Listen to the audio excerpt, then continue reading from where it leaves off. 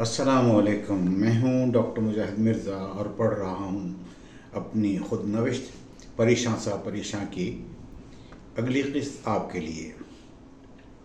अगले सफ़र की रुईदाद से पहले बतलाता चलूँ कि मैं तबलीग तो सिर्फ़ लोगों को ही किया करता था, लेकिन तबलीग के अमल में शरीक पढ़े लिखे साथियों से मेरी इस बात पर ही हैस बहस होती थी कि जब तक पेट खाली हो तो बाकी सभी बातें खोखली लगती हैं। जिसके लिए पंजाबी ज़ुबान का मरूफ मुहावरा है, कि टेडना पहियाँ रोटियाँ, ये सब गल्ला खोटियाँ। मगर महज तबलीग पे तकिया करने वालों और दुनियावी मसाइल को अल्लाह की मर्ज़ी पे डाल देने वालों से उम्मीद भी क्या की जा सकती है? वो मुझे कुछ भटका हुआ ख्याल करते थे, मगर मैंने भी ठानी हुई थी ये मौका मिलते ही इस बात को बाकायदा साबित करके दिखाऊँगा। एक रोज़ गवर्नमेंट कॉलेज की दीवार के साथ ही मुझे एक लकड़हारा हुआ मिल गया था। जी हाँ 1970 तक कुछ लोग लकड़ियों के गट्ठड़ रस्सियों से बांधकर कमर पर लाद कर लाहौर में बेचा करते थे। मैंने उससे कहा कि साथ ही मस्जिद में अल्लाह रसूल की बातें हो रही हैं, तुम भी चलकर सुन लो। वो बेचारा मेरे हमरा गवर्नमेंट कॉलेज की मस्जिद में आ गया था। मैंने अंग्रेज़ी में अपनी तब्लीगियों से कहा था कि आज मैं अपनी बात को साबित करना चाहता हूँ, इसलिए गौर करें। मैंने बड़े तरीके से, मैंने बड़े तरीके से आसान तरीन लफ्ज़ों में उसे दीन की तबलीग करना शुरू की थी। बज़ाहिर तो वो ये अल्लाह रसूल की बातें सुन रहा था, लेकिन हर दस मिनट बाद कह देता था, जी, मैं भी भूखा हूँ और मेरे बच्चे भी भूखे हैं। जिसका मैं एक अमूमी सा जवाब देकर कि अल्लाह सब ठीक कर देगा, बात को आगे बढ़ा दे, बढ़ा देता था। दो तीन बार उसकी और उसके बच्चों की भूख का तस्करा सुनने के बाद मैं उठकर साथ ही मलक फ्रूट शॉप में चला गया था और मलक को कहा था कि एक बड़ी सी काब में बहुत से कटे हुए फल मस्जिद में पहुँचा दे। मलिक फलों की भरी हुई पेट प्लेट ले आया था। मैंने लकड़हारे के समय रखकर कहा था कि भाई पेट भर लो। पहले वो हिचकिचाया। मैंने गर्मी का एक कतरा लेकर मुँह में डाला और फिर उसने मेरी देखा देखी खाना शुरू कर दिया। जब शेर हो गया, तब भी मैंने प्लेट उसके सामने ही रहने दी थी और साथ एक बार फिर तबलीग की खुराक ठोंसना शुरू कर दी थी। अब ये गज़ा उसके लिए कुछ सहल हो गई थी। उसकी शिकायत का वक्फा बढ़ गया था, मगर फिर भी वो यही कह रहा था कि मैंने तो पेट भर लिया, लेकिन घर में मेरे बच्चे भूखे हैं। मैंने जेब से कुछ रकम निकाल कर उसे दी और कहा, घर जाते हुए बच्चों के लिए कुछ लेते जाना। और फिर से तबलीग शुरू कर दी थी। उसको जाने की जल्दी थी, लेकिन उसने सब्र से काम लेकर जवाब दिया था, आज से मैं भी नमाज़ पढ़ूँगा और अपने बच्चों को भी नमाज़ पढ़ने की तलकीन करूँगा। इस पर मैंने उसे जाने की इजाज़त दे दी थी और उसके निकलते हुए गोया हुआ था। साहबान इस मुजाहरे के बारे में आप लोगों की क्या राय है? सब अपना समूह लेकर रह गए थे। सिर्फ़ कमर था जो हल्की सी मुस्कान मुस्करा रहा था। हमारी वैगन लाहौर की जानब चल दी थी। कमर अपनी नशस्त पर बैठे हुए वैगन और अपनी ऐनक दोनों ही के शीशों से तेज़ी से उभरते गिरते टीलों और पहाड़ी खड्डों को देख रहा था। पठान ड्राइवर अब तरंग में आकर गाड़ी खासी तेज़ चला रहा था। कमाल साहब से नारा आ गया और उन्होंने कहा था, भाई, गाड़ी ज़रा एहतियात से चलाओ। ड्राइवर ने मुँह मोड़कर कहा था, चुप करो मौलवी साहब।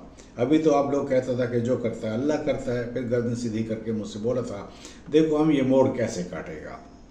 उसने तेज रफ्तार गाड़ी से इस तरह मोड़ काटा कि मेरे मुँह से बस इतना ही निकल सका था देखना कि गाड़ी लुढ़कनियाँ खाती हुई खड में जा रही थी। जब लुढ़कनियाँ तमाम हुई और गाड़ी रुकी तो हमारे सर नीचे थे और टांगे ऊपर। ये सब चश्मे जदन में हुआ था। ये सब चश्मे जदन में नहीं हुआ, बल्कि तकरीबन एक मिनट लगा था। मुझे खराश तक नहीं आई थी। मैंने जर्सी में लिपटी हुई कोहनी शीशे पर ज़ोर से मारकर निकलने के लिए उसे तोड़ा ही था कि मुझे लगा जैसे किसी ने मेरे चेहरे पर गर्म पानी फेंक दिया हो। मैं उफ करके निकल आया था। मैंने देखा कि ड्राइवर सर पकड़े एक पत्थर, बड़े से पत्थर पर बैठा हुआ था। उसके सर से खून की एक लकीर उसके चेहरे पे बह रही थी। उसका दरवाज़ा खुल गया था, यूँ वो बाहर जा गिरा था। मैंने ऊँची आवाज़ में कहा कि मेरे चेहरे पर डीजल आ गिरा है। एक आँख से कुछ भी नज़र नहीं आ रहा था। दूसरी आँख के कोने से मैंने देखा कि तो कमर भाई गाड़ी के अंदर बेहोश लेटा था और उसके सर से खून का फवारा उबल रहा था। ऊपर सड़क पर बसें रुक गई थी। लोग मदद के लिए नीचे आ गए थे। किसी ने मुझे सहारा दिया तो मैंने कहा था कमर भाई की खबर पहले लो। दो एक आदमी उसका खून रोकने उसे गाड़ी से निकालने में लग गए थे। और एक शख्स मुझे सहारा देकर खुद से निकाल कर सड़क पर ले गया था। बस की पिछली सीट पर मुझे लिटा दिया गया था और मेरा सर किसी मुसाफिर खातून की गोद में था और वो कह रही थी हाइनी की सदा वे की सदा भुतर मैंने से बीच में डोकर कहा था, सब अल्लाह के हाथ में है। और तबलीग अंदाज में बातें करता रहा था। बस मुझे गुजर खां के तहसील हस्पताल ले आए थे और लोग भी पहुँच चुके थे। इत्तेफाक से एक माहिर चश्म भी रावलपिंडी से आए हुए थे। मुझे बेड पर लिटा दिया गया था। मैंने यही कहा था कि मेरी आँखों में गर्म डीजल चला गया है। डॉक्टर साहब ने मेरी आँखें बोरा के सड़ मिले पानी से धोकर हल्की सी पट्टी बाँध दी थी। आँखों में जलन बढ़ गई थी। मैंने आँख की उसी रेख से देखकर, जिससे नज़र आ रहा था, जब अपनी कमीज के ऊपर वाले हिस्से पे निगाह डाली तो उसमें मुझे बहुत ही छोटे छोटे सुराख दिखाई दिए थे। मैंने चुटकी से पकड़कर जब कमीज के हिस्से को झटका तो पूरा कपड़ा ही झड़ गया था। मैं खड़ा होकर एक लफ्ज चिखा था। डॉक्टर साहब, मेरी आँखों में बैटरी का तेजाब चला गया है। मुझे फ़ौरन ही ऑपरेशन थिएटर में दोबारा पहुंचाकर अलकली के किसी और महलूल से बड़ी देर तक मेरी आँखों की टकोर की गई थी। रात को वैगने वाली इसी कंपनी की एक नई वैगन पहुँची थी, जिसमें मुझे लिटाकर बाकी चंद साथियों के हमरा लाहौर पहुँचाया गया था। लाहौर के किसी माहिर चश्म ने अद्वियात तजवीज़ की थी और मुझे लिटाकर ही मुल्तान ले जाया गया। मिस्टर की मस्जिद में मुझे अपनी आँख की रेख से सर पट्टियों में लिपटे जर्दी माइल स्याह, कमर भाई भी बैठे हुए दिखाई दिए थे। एक दो रोज़ तो तबलीगी भाई पूछने आते रहे थे और उसके बाद ये सिलसिला टूट गया था। मेरी आँखों में एक डेढ़ माह तक कभी पुतलियाँ तंग करने वाली दवा डाली जाती थी और कभी पुतलियाँ फैला देने वाली दवा। कभी मुझे कम दिखाई देने लगता था और कभी चीज़ें ज़्यादा ज़्यादा ही ज़्यादा ही रोशन हो जाती थी। पढ़ाई रुक गई थी। इस अरसे में मैं बहुत सोचता रहा था और नतीजा ये निकला था कि अगर मैं अंधा हो जाता तो क्या मैं मस्जिद में नाबीना हाफिज बनता? खैर इस वक्त की सोच थी जिसने मुझे तबलीगी जमात और मिन हैसर मजमू मज़हब से दूर कर दिया था। गवर्नमेंट का लाहौर में मेरे एक क्लास फेलो, एक क्लास फेलो होता था जो डे स्कॉलर था। कभी कभार ही सईद बाजवा के साथ हॉस्टल में आया करता था। वो मुझे अच्छा लगता था। लेकिन उससे हेलो हेलो ही हुई होगी और बस। निश्तर की मस्जिद में नमाज़ पढ़ने के लिए जाने के दौरान मैंने एक बार उसे जमीद के दरस कुरान में दर्स देते हुए भी देखा था। लेकिन एक दो बार मुख्तर से गुफ्तु के अलावा कभी ज़्यादा बातचीत नहीं हुई थी। और जमीयत चूँकि जमा इस्लामी से मुंसलिक थी और जमात के रहनुमा मौलाना अबुल आला मौदूदी थे, हमारा घराना देवबंदी था और देवबंदी कहते थे मौदूदी काफर है। ना मुझे मौदूदी के बारे में इतना इल्म था और ना ही जमा इस्लामी के बारे में। और ना ही जमीयत के बारे में। बस इतना पता था कि जमीयत और जमात भुट्टो और पीपल्स पार्टी के ख़िलाफ़ हैं। और भुट्टो सोशलिज्म लाना चाहता है, जो गरीब लोगों के हक़ में होगा। मेरे घर से सिर्फ़ औरतों की हमदर्दियाँ भुट्टो के साथ ही मर्द सारे ही जमीत इस्लाम के हक़ में थे। इसलिए इस लड़के से, जिसका नाम शमून था, बावजूद अच्छा लगने के दो अच्छा लगने के दोस्ती नहीं हो सकी थी। फिर हम सेकेंड ईयर में आ गए थे। तब फ़र्स्ट ईयर के इम्तहान नहीं हुआ करते थे। बस टेस्ट पास करके ही अगली जमात में तरक्की दे दी जाती थी। इस बरस मैंने इकबाल को रूममेट चुना था। इकबाल अपने तौर का मस्त आदमी था। उसकी उर्दू का लहजा इस कदर दुरुस्त था कि अगर वह एक रोज़ जंगली कबूतर को डट्ठा ना कहता तो मैं कभी ना जान सकता कि उसकी मादरी ज़ुबान मुल्तानी है। इकबाल लिया का रहने वाला था। पाँव घसीट के चलता था। नमाज़ पढ़ लिया करता था, लेकिन मुलायद का ठट्ठा उड़ाया करता था। कह कहा लगा के कह कहा खुल के लगाता था और कह कहे में लम्हे भर के वक्फे के साथ तसलसल जारी रहता था। मैंने कमरे की दीवार पर दीवार पर खुशखत करके लिख दिया था, वजूद खुदा, अमर है, जहालत लानत है और बदगुनाह है। एक रोज़ उसने कहा था कि, यार, तुमने साथ में ये भी लिख देते एशिया सुरख है। बस इसी बात पर हमें एक शरारत सूझी थी। निश्तर में जमेद का दौर था। हमने उन्हें तंग करने की खातिर एक प्लान बनाया एशिया सुरख है कि उनवान से एक हैंड बिल लिख कर छपवाया जाए और रात गए हौसलों के कमरों के दरवाज़ों पर चस्पा कर दिया जाए। जमीयत का शक एन एस एफ़ पर होगा, उनकी आपस में की और हम तमाशा देखेंगे। मैंने सुरख है सुरख है की तकरार के साथ एक तहरीर लिखी थी और हम दोनों डेरा अड्डा के नज़दीक एक छापा खाने में गए थे और उनसे ये तय करके कि इश्तहार पर प्रेस का नाम नहीं छापेंगे, शायद साठ रुपये में पाँच सौ एशिया सुरख है के से हैंड बिल सुरख हाशी और सुरख खत नस्त में छपवा लिए थे। एक रात हम दोनों इश्तहार चिपकाने की मुहिम पर निकले थे। हमने अपने हॉस्टल कासिम हाल से ये सिलसिला शुरू किया था और ही हाल में इस खतरनाक मुहिम की तकमील करते हुए सीन हाल पहुँचे थे। जब इकबाल इस्लामी जमयत तलबा के नाजिम खालिद जबील्ला के कमरे के दरवाजे पर इश्तहार चपका रहा था तो या तो उसकी आँख खुल गई थी या वो वैसे ही जागा हुआ था। उसने कौन है कहा तो इकबाल ने झट से बाहर की कुंडी बंद कर दी थी और भागते हुए दूसरे सिर पर मेरे पास पहुँच कर कहा था, भागो।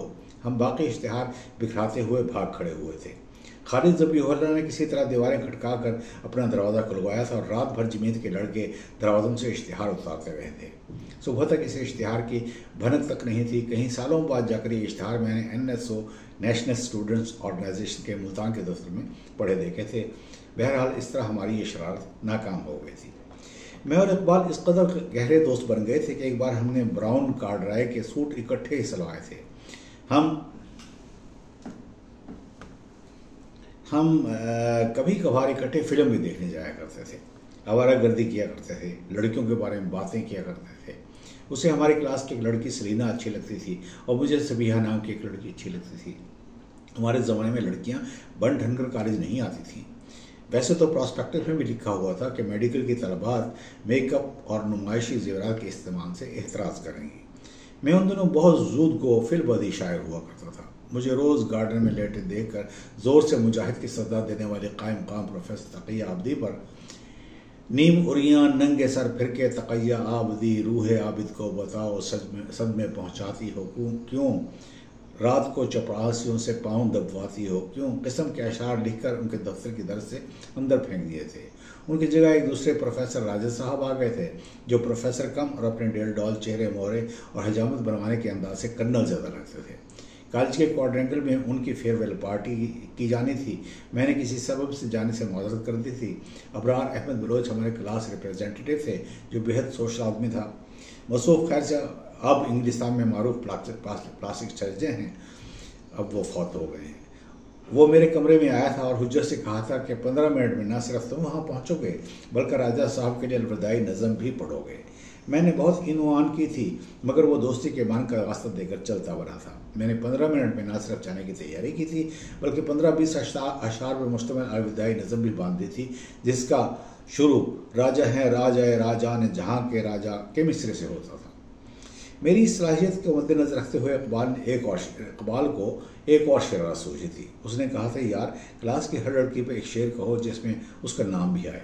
शोभा अनाटमी के नोटिस बोर्ड पर लगा देंगे, सुबह होगी और लोग पढ़ेंगे, लड़कियाँ ची बच्ची होंगी तो खूब शक्ल रहेगा। मैंने कहा था कि लिखने को तो मैं लिख दूँगा, लेकिन रात गए मुर्दा खाने के करीब नोटिस बोर्ड पर लगाने तुम खुद जाओगे। वो खुद चिन्ह था उसे डर नाम किसी किसी चीज़ से सरोकार नहीं था।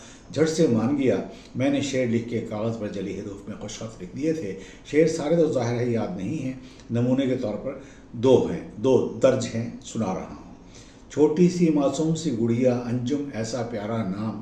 काश सितारा यूँ ही चमके जगमग जगमग सुबह शाम। हमारी क्लास फेलो अंजुम का नाम है। तीखी नज़रें, भोला चेहरा, उस पर मस्त अदाएँ। बोल सलीना, हम बेचारे, फिर क्यों ना मर जाएँ? रात को इकबाल जाकर अपना काम कराया था और सुबह तो वाकई नोटिस बोर्ड पर लड़कियों, लड़कों के ठट लग गए थे। लड़के तो लड़के तहता लड़कियाँ भी मुँह बनाए अपनी नोटबुक्स पर अशार नकल कर रही थी। उनको अशार की ज़रूरत तो इतनी नहीं थी।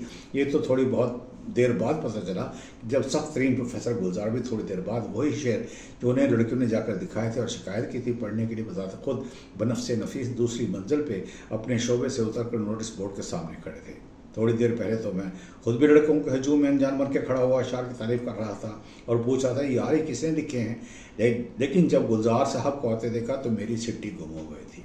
गुलजार साहब सखगीर तो थे ही, लेकिन वो डॉक्टर नज़ीर अहमद, प्रिंसिपल के रिटायरमेंट के प्रिंसिपल के फ़्राइज़ भी सर